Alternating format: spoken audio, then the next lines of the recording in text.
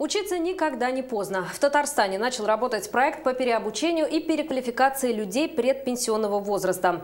В 2019 году его участниками должны стать более 2000 человек. Сейчас уже 77 предприятий изъявили желание посадить за парты своих сотрудников. О том, как эта программа будет работать в набережных Челнах, поговорим сегодня с гостем программы «Челны-24», директором Центра занятости населения Татьяной Бадановой. Татьяна Александровна, добрый вечер. Добрый вечер. Какова основная цель а, программы по переобучению и переквалификации предпенсионеров? Это, конечно, сохранить кадры на рабочем месте и чтобы они соответствовали тем требованиям, которые выдвигает работодатель. А, все знаем, что с 1 января вступили в действие изменения в трудовом законодательстве, пенсионном и в законе о занятости. И все эти изменения касаются защиты а, прав граждан предпенсионного возраста. Специалисты Центра занятости встречаются а, с а, работниками предприятий, а, в особенности с гражданами как раз предпенсионного возраста для разъяснения их прав. А, открыта горячая линия в Центре занятости, куда можно позвонить гражданину предпенсионного возраста и получить консультацию. Сейчас вот как раз мы занимаемся, принимаем заявки на, от предприятия на переобучение граждан предпенсионного возраста. Обучаться они могут любым специальностям, которые востребованы на данный момент на предприятии. Через Центр занятости проходит также обучение граждан предпенсионного возраста из состоящих на учете, э, как имеющих статус безработного, так и в поисках работы. А, проходя обучение через Центр занятости, граждане получают стипендию.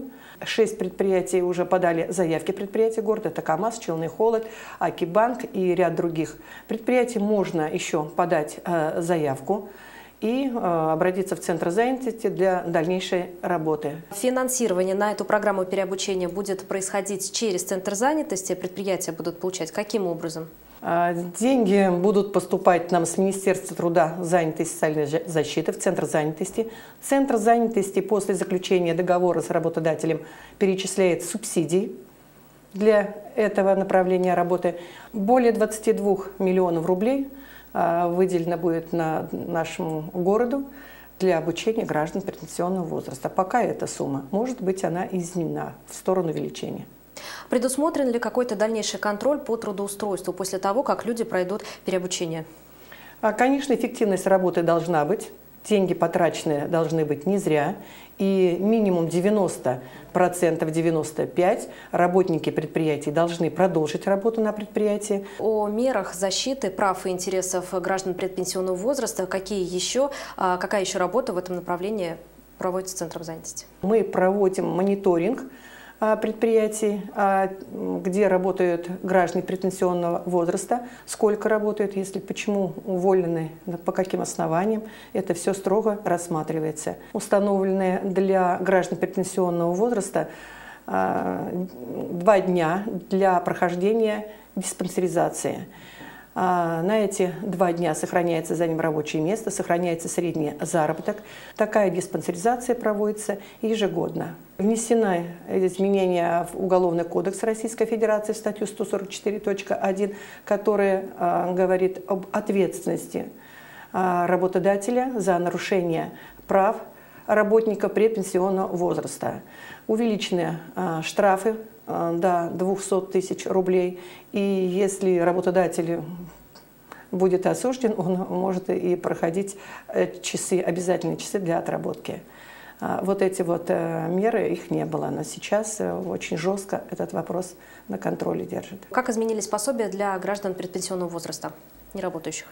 А, пособие по безработице в этом году изменилось вообще в сторону увеличения, увеличения для всех категорий граждан.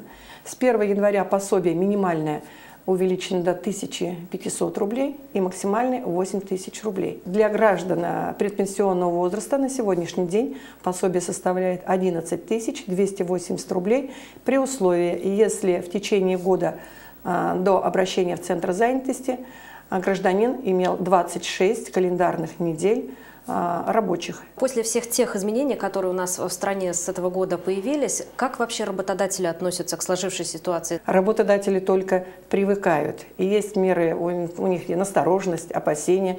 Может быть, считают, что это э, не так жестко будет рассматриваться. А самое главное, наверное, сейчас у работодателей – это не увольнять работника предпенсионного возраста по инициативе работодателя, а, ну а то, что касается трудоустройства граждан данной категории, у нас пока сложных моментов не было. Скажем так, принимают охотно. Принимают может, не совсем охотно, но берут, поскольку на сегодняшний день у нас в городе работ, работников не хватает большое количество. Татьяна Александровна, большое спасибо, что нашли время и ответили на наши вопросы.